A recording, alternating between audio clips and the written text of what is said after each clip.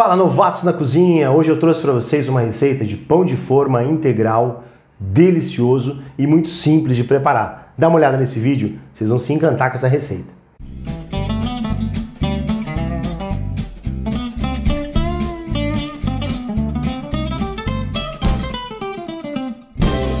Bom pessoal, para começar o nosso pão de forma, nós vamos iniciar colocando o fermento. Aqui eu estou usando um envelopinho de fermento biológico seco. Aí eu vou acrescentar açúcar. Você pode usar açúcar mascavo, se quiser um pão mais escurinho, mais marronzinho, ou açúcar refinado. Um detalhe antes de iniciar a receita, pessoal. Eu já pego a minha balança e já coloco a farinha aqui e já peso. Quanto a gente vai usar? 500 gramas de farinha integral. Então pese antes, porque a gente vai usar um pouco dela aqui, ó, para ativar o fermento e aí você não erra na quantidade, tá? Uma colher assim é o suficiente. Vamos misturar aqui, ó. E aí eu vou acrescentar a água morna, tá, gente? Morna não é quente demais, tá? Mistura bem homogênea. Nós vamos tampar essa mistura aqui, ó. Tampadinho. E vamos aguardar de 15 a 20 minutos e aí a gente já volta para a próxima etapa. Vamos ver como é que ficou, gente? Olha, que bacana. Como cresceu a nossa preparação aqui, né, de fermento. Vamos uma misturadinha assim, ó. Aqui eu vou colocar todo esse preparo, ó. Aqui eu vou acrescentar um ovo. Vou acrescentar uma colher de sopa de azeite, ó. E agora nós vamos acrescentar a farinha aos poucos.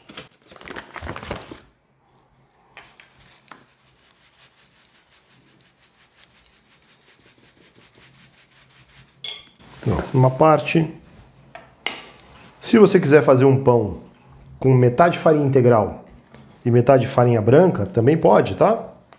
Esse nós vamos fazer 100% integral. Um pouco de farinha, vamos colocar um pouco mais. Vamos deixar sempre um pouquinho de farinha sobrando ali. Primeiro para a gente poder ver o ponto da massa, tá? Para não ficar pesada demais. E segundo que a gente vai usar um pouquinho para sova também na bancada. A farinha integral demora de 5 a 10 minutos para absorver os líquidos e se hidratar. Então, não adianta acabar a mistura aqui e já sair sovando. Agora está bem misturado, a gente já pode acrescentar o sal.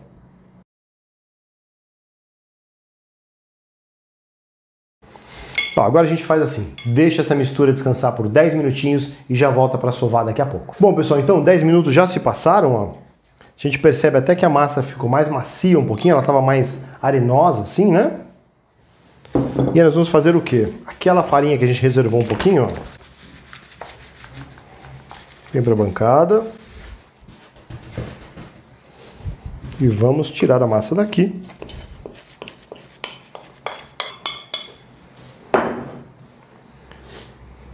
E aí, ó, põe um pouquinho mais de farinha em cima. Um pouquinho nas mãos. Naturalmente ela gruda nas mãos no início da sova, tá, gente? Então a gente vai dobrando assim, ó. E vai acrescentando farinha até ela parar de, de grudar. Certo? Então, inicialmente, a gente vai dobrando assim até ela ganhar um pouco de elasticidade.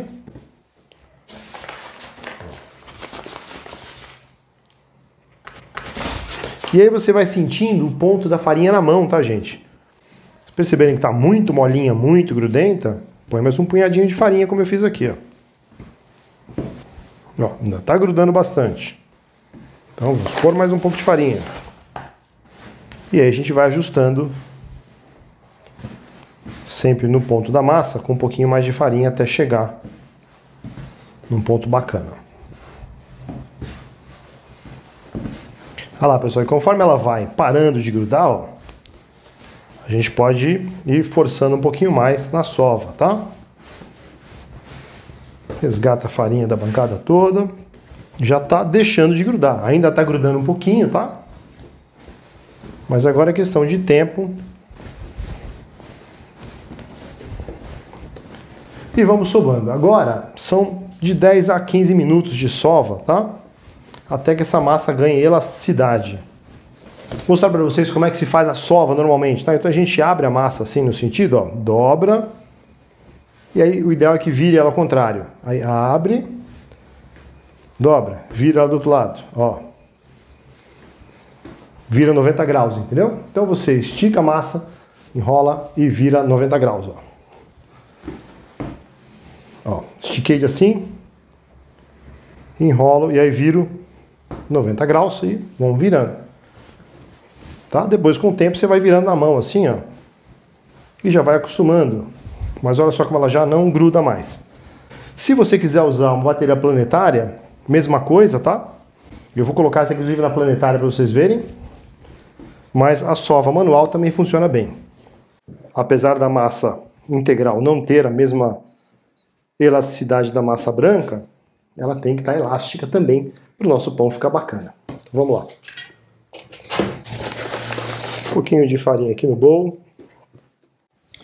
Coloca a nossa massa lá e liga aqui. E aí já já eu mostro para vocês sovadinho para a gente seguir para a próxima etapa.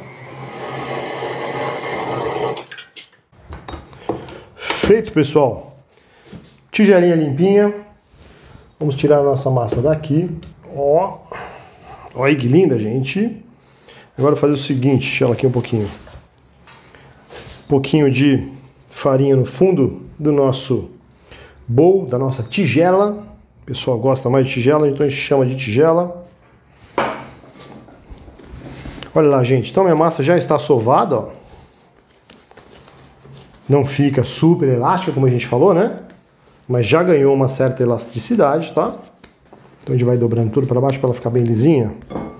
Coloca aqui na nossa tigela. E a gente passa um pouquinho de azeite aqui, ó. Só para ela não ressecar, tá? E a gente cobre com um paninho. Deixa ele descansar aqui por pelo menos 40 minutos, tá? Se você tiver uma região mais fria, tipo o sul do Brasil, ou está fazendo pão num dia frio, uma hora. Então a ideia é que ela ganhe volume aqui, praticamente dobre de tamanho, e a gente vai para a última etapa, que é a formatação dos pães.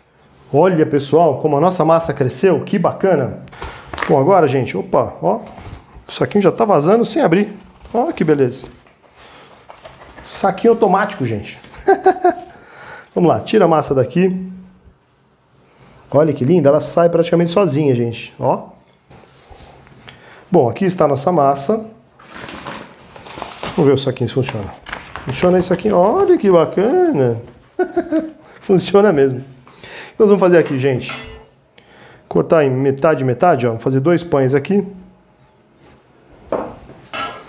Se você vai fazer pães para vender, novamente nós vamos usar a balancinha. E aí você pesa se os dois lados estão iguais, tá? Zerou. 450 gramas. Essa parece ter um pouquinho menos. 415. Aí você corta uma beiradinha aqui. Agora vai dar, vamos ver, 430, olha lá, 440, 435, tá bom, né? Fechou? Então eu tenho aqui meus dois pães, tá? E nós vamos pegar aqui o nosso cilindro de abrir massa. Vai farinha. Agora não quer funcionar, gente, ó. Então é assim. Só para não grudar. E aí você pode, inclusive, ó, farinhar mais a sua bancada. E aí nós vamos abrir a massa num retângulo, tá?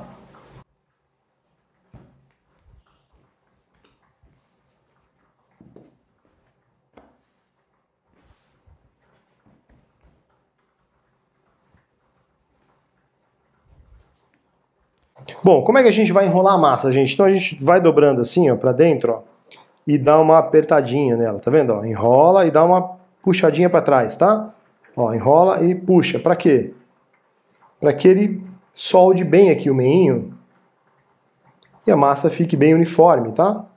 Ó. E aí a pontinha aqui a gente solda na mão aqui, tá?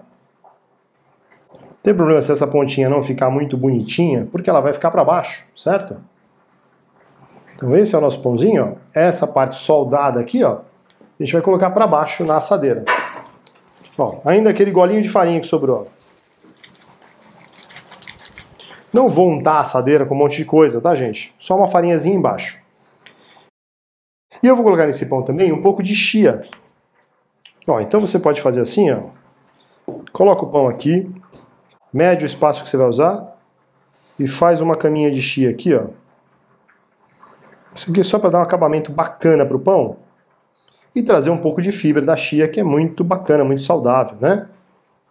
Ó, pode até concentrar um pouquinho mais a chia aqui assim, e a gente vai enrolar ele aqui, ó. ó. Olha só. E ele já ficou, olha que bacana, gente. Todo com a chia. A solda do pão aqui, a emenda para baixo. Encaixa ele na assadeira. Olha lá que bacana. Vamos enrolar o outro? Coloca o nosso pão. Olha que fofinha essa massa, gente. Longitudinalmente, tá? Assim, ó. De comprido. Vamos abrir a massa de comprido, ó. Olha que legal, tá? Aí nós vamos lá de novo, gente, ó. Enrola um pouquinho e aperta. Enrola e aperta. Então enrola e aperta, tá? Ó. Olha lá, é isso aí. Arruma a solda. E agora para essa massa eu vou usar outro grão bacana. Olha que legal. Aí a gente vai dar uma apertadinha nela aqui, ó.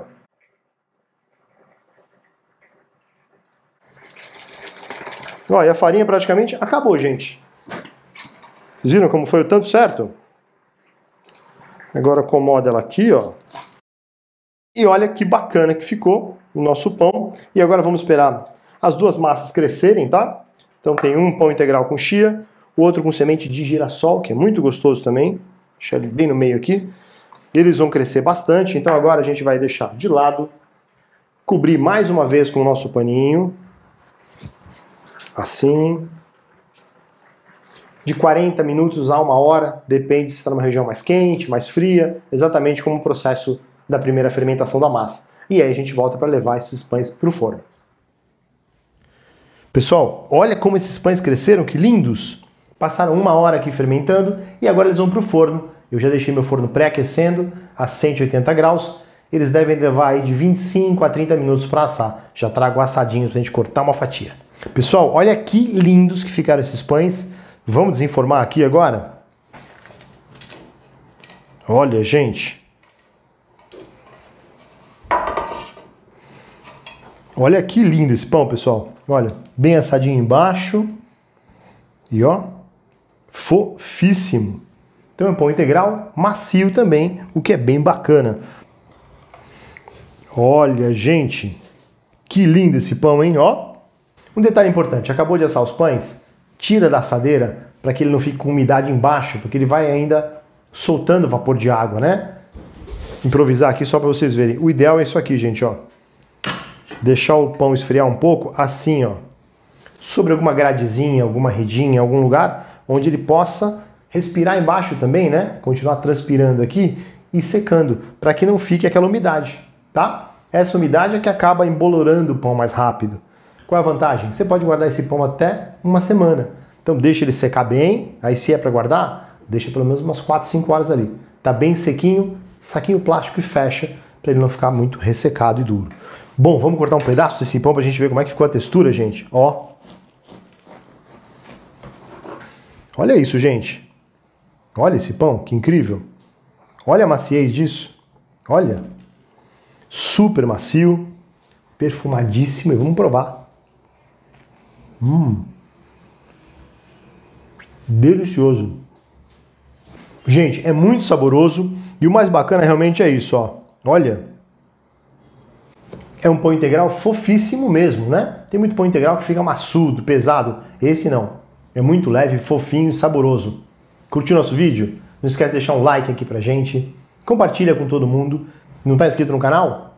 Clica no cantinho ali, inscreva-se já e comenta aqui embaixo o que achou. Outra coisa, faça essa receita em casa e poste a foto no Instagram e marque o nosso perfil, arroba novatos na cozinha, tudo junto. A gente adora ver o resultado das receitas nas casas aí de vocês. Muito obrigado, até o próximo vídeo.